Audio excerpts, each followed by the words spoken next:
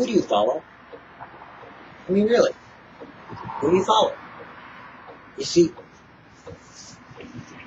when I was up in Alaska, when I lived in Alaska, we would put out in the winter, well, in the summer for winter, we put out these trail markers. and they would just simply be three poles that was set up kind of like a teepee. Now, they're kind of long poles, and they were, oh, probably set, I'm not sure if they were like a quarter mile apart, but they were far apart. And they looked kind of distant, you know, you could barely see them. You know, we'd set them up in the tundra, and they would go for miles, sometimes 20, 30, 40 miles, off into the flat of the tundra, way out in the middle of nowhere. And it was part of a government contract that we had to put these trail markers out because in the winter, those poles, the snow would come up to a certain level, but then you'd still see the top of the pole. And those were the markers for snowmobiles to go to another village. And so between villages, you had these trail markers that would show you the way that you should go. Now, they weren't always easy to see, although they're pretty obvious.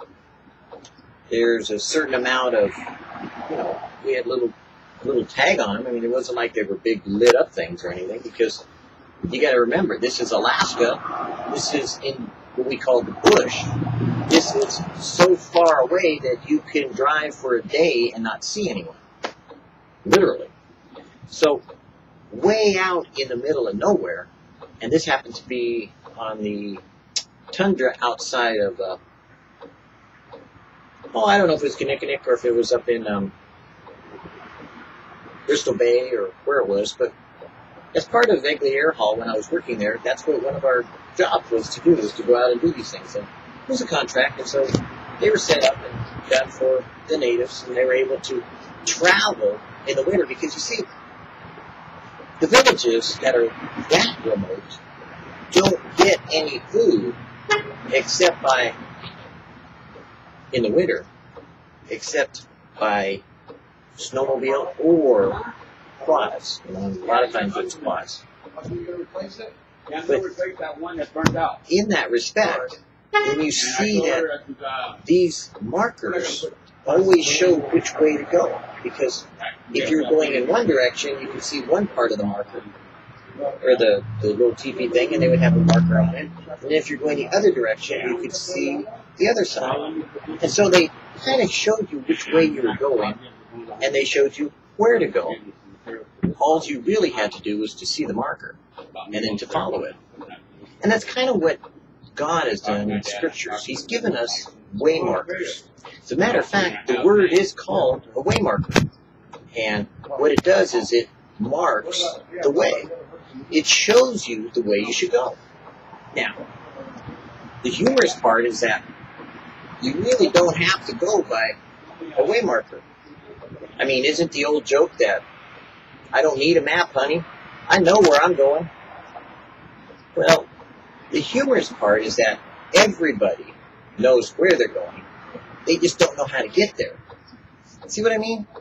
In other words, we know the end result. We know the destination, but we don't always know how to get there. And so everybody's got an opinion of which way they should go. Some people think that you should take the long way around. Other people think you should take a shortcut. But you know, in Alaska, when you see a way marker, you know which way you should go. And the old timers, I'll tell you, they'll tell you, when I see that way marker, I go that way. That's what God wants to do with us, is that every day that you live, you have the ability to choose what you want to do. You have perfect love, perfect grace, and all kinds of mercy extended to you. You can decide to go your way, his way, their way, that way, any way you want to. What you choose to do today is really up to you. Now, I can only tell you that for me, when I look out on my day, I pick up these little way markers. You might call them devotionals. I call them way markers because they mark for me the way I should go.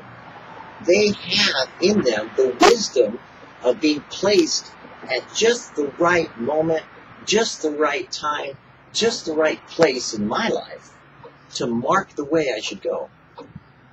And the way that works is that the Holy Spirit was able to so design it that it fits perfectly for me. So it marks the way. Now, maybe for you, you have your own way to go. You have your own map, your own GPS. You have your internal guidance system that, well, you know where east is, you know where west is, you know where north is, you know where south is. But you know, what if the satellites got knocked out and your GPS was gone? what if you lost your map? What if you lost your way? And what if you couldn't find your way markers? That could be a problem. My shadow. Learn that each day must be lived in my power and in the consciousness of my presence. Even in the thrill of joy seems to be absent. Remember that if sometimes there seems a shadow on your lives, it is not the withdrawal of my presence. It is my shadow as I stand between you and your foes. Even with your dearest and nearest, there are quiet days when you will be still with me and alone. You do not doubt their love because you do not hear their laughter and feel the thrill of joy as their nearness, but you know they love you anyways because of the experience you have had with them. The quiet gray days are the days for duty. Work in the calm certainty that I am with you. A lot of people will look at that way marker and say, well, I don't feel like it's for me. Well, cool. That's kind of what it was talking about. Don't go by feelings. Well, I don't like what it said. Well, that's true, but it didn't talk about liking it. As a matter of fact, if I could give you a real insight into these waymarkers in the summer, there are people that go out there and see these poles, and they have no idea why those poles are there in the summer. Because you're out there in the middle of tundra. Now, tundra is kind of a, it's a squishy ground. Now, underneath there's permafrost. But on top of it, there's kind of like this, oh, could be sometimes an inch. Well, it's never an inch, but could be like six inches to a foot to several feet deep. Sometimes as much as 10 feet or 12 feet. Tundra. And it's just kind of like little lichen that grow and they get frozen in the winter and they die off and then they grow back. In the summer months when it warms up, sometimes things get in the tundra and actually sink. And that's one way that a lot of people get rid of a lot of things is they just leave it in the tundra and it sinks down in and is covered over by tundra. The summer, when they come across these holes that are out in the middle of nowhere, that are standing by themselves and they can't see the next way marker down the way, they just see the one way marker and they see these three poles and there's maybe a number on it. It might say like H1, N2, which is kind of like a little code to let the people who put out the way markers know which one it is so that you could go onward. And if you had the map of all the way markers, you could follow it all over Alaska, as a matter of fact. You could go to all kinds of villages you never knew were out there. As a matter of fact, you kind of don't know where you're going when you first come across one of those way markers in the summer. And if you looked way far away, trying to see them in the summer, they're not that easy because you see, in the summer also, lots of bushes grow up and they grow as tall as trees because of the long summer days. And that's why we call in Alaska that wilderness area where nothing nobody seems to live. We call it the bush because of that reason. Plants grow as tall as trees, and it kind of looks like trees in the summer, and then it dies off in the winter. That's why it's called the bush. But when you see these way markers, these poles that are standing, you don't know what they're for. And I've seen people, you know, kind of go up and knock them down, and, you know, play with them, and some people have set them on fire, and some people have cut them up and used them for firewood. huh. But guess what?